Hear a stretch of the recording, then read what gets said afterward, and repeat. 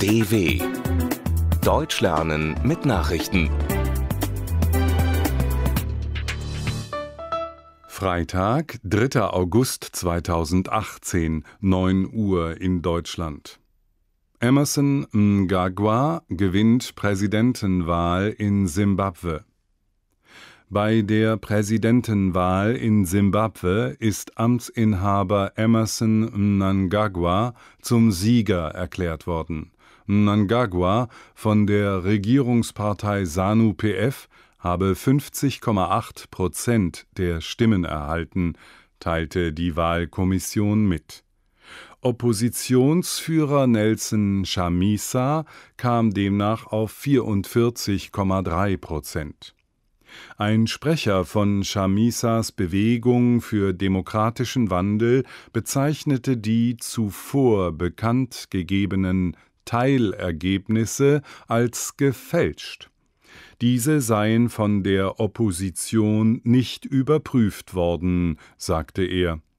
Er wurde anschließend von der Bühne in der Hauptstadt Harare abgeführt, auf der die Ergebnisse verkündet worden waren.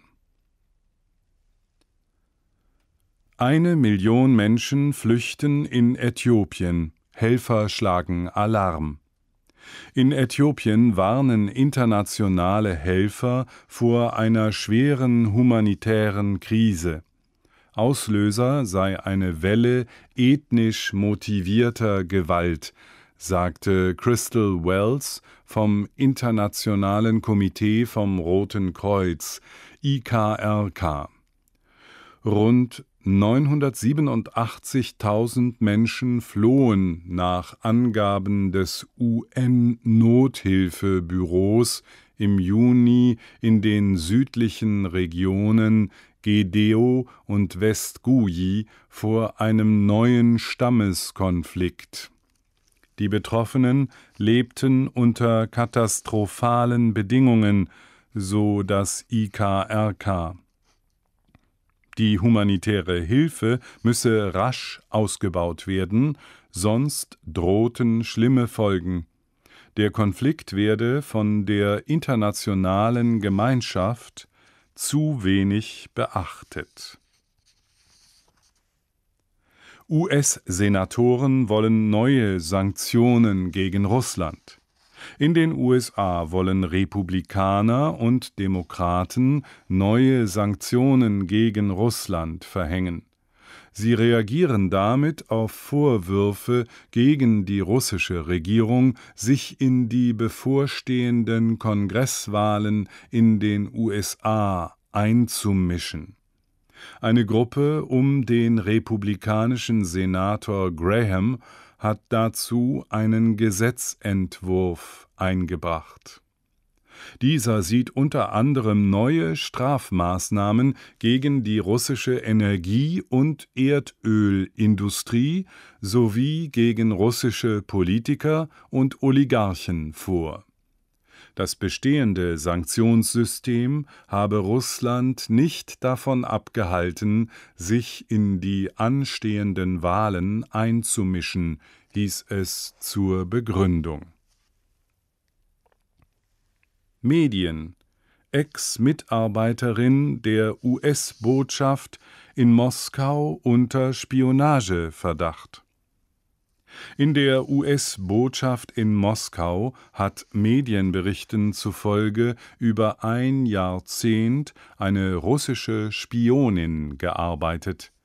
Die Frau sei erst vor kurzem von der US-Spionageabwehr enttarnt worden, schreibt der Guardian.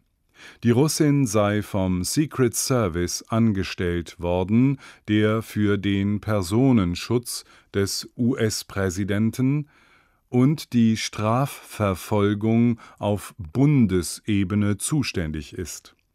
Die Frau habe Zugang zum Intranet und E-Mail-System des Secret Service und damit zu potenziell sensiblen Daten gehabt.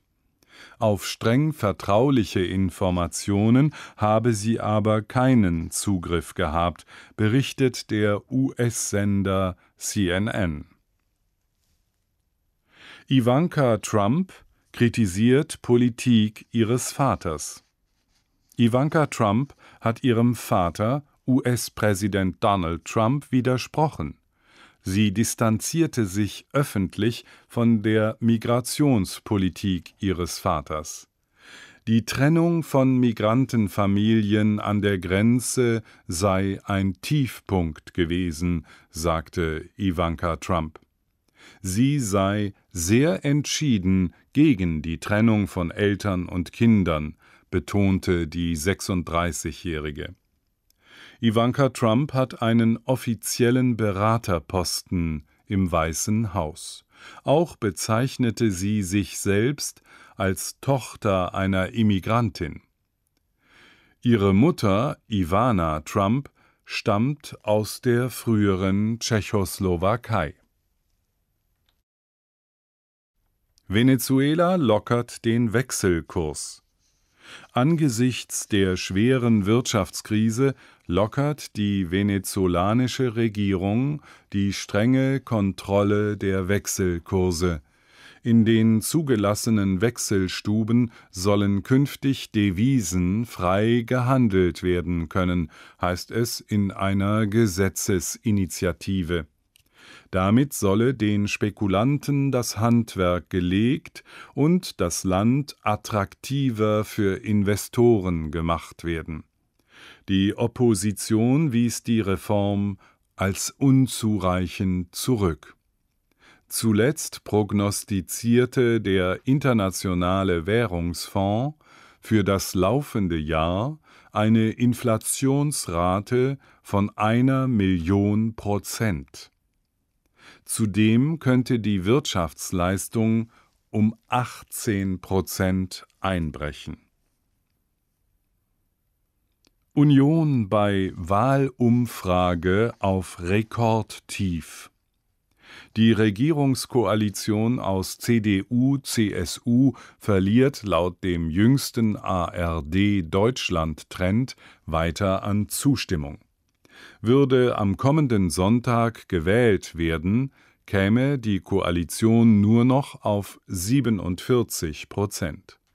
Die SPD bleibt im Dauertief bei unverändert 18 Prozent, die Union verliert gegenüber Juli einen Prozentpunkt und sinkt auf den historischen Tiefstwert von 29 Prozent. Dagegen gewinnt die AfD einen Punkt dazu und steht mit 17 Prozent so gut da wie nie zuvor. Die Grünen verbessern sich auf 15 Prozent, die Linke kommt auf 9, die FDP auf 7 Prozent. Soweit die Meldungen von Freitag, dem 3.8.2018. DW Deutsch lernen mit Nachrichten. Mehr auf dw.com/deutschlernen.